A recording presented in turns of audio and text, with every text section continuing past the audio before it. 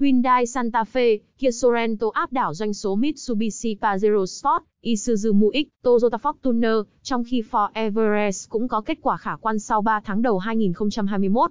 Ở phân khúc có khá nhiều lựa chọn gồm xe Hàn, Nhật và Mỹ, những SUV cỡ D đến từ xứ Kim Chi đang có doanh số vượt phần còn lại. Phân khúc này vốn dĩ là cuộc chơi của xe Nhật, với doanh số áp đảo từ Toyota Fortuner.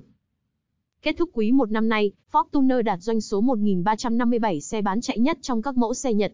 Tuy nhiên, đây là lượng tiêu thụ thấp nhất của SUV này trong cùng kỳ 5 năm gần đây, không tính năm 2018 do ảnh hưởng của chính sách xe nhập khẩu. So với năm 2017, doanh số cùng quý 1 của Fortuner giảm hơn 50%. Trong khi đó, Hyundai Santa Fe và Kia Sorento ghi nhận doanh số vượt trội với kết quả lần lượt 1.990 và 1.750 chiếc đại diện cho sự thống trị của xe Hàn. Thậm chí, dòng xe 7 chỗ của Toyota không có doanh số tốt bằng mẫu Ford Everest với 1.459 xe. Với 4 dòng SUV góp mặt trong phân khúc gồm Toyota Fortuner, Isuzu Mu-X, Mitsubishi Pajero Sport và Mazda CX-8 doanh số tổng của xe Nhật đạt 2.663 chiếc. Trong khi đó, với hai đại diện Hyundai Santa Fe và Kia Sorento, doanh số tổng của xe Hàn đạt 3.740 chiếc. Đáng chú ý, sự vươn lên của Sorento thế hệ mới là một bất ngờ bởi dòng xe này vốn dĩ không có kết quả kinh doanh tốt trong những năm gần đây. Tuy nhiên, với những thay đổi đầy tích cực ở phiên bản 2021 ra mắt cuối năm ngoái, doanh số đã khởi sắc rõ rệt. SUV Hàn Quốc thay đổi toàn diện từ thiết kế đến công nghệ.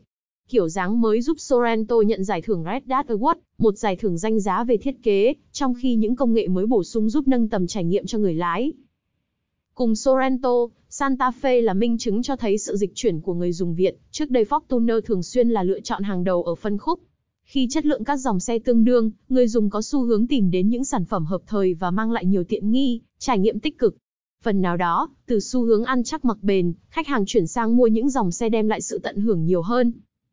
Tư duy mới có thể thấy ở kết quả kinh doanh của mẫu SUV Việt duy nhất trong phân khúc này VinFast Lux SA. Kết thúc quý 1, SUV 7 chỗ này đạt doanh số 1.243 xe, xếp ngay sau Toyota Fortuner.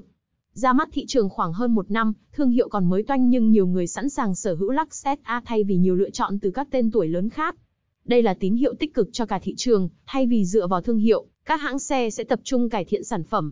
Từ đó, người dùng có thêm những lựa chọn tốt hơn khi mua ô tô. Xe cộ, xe cộ.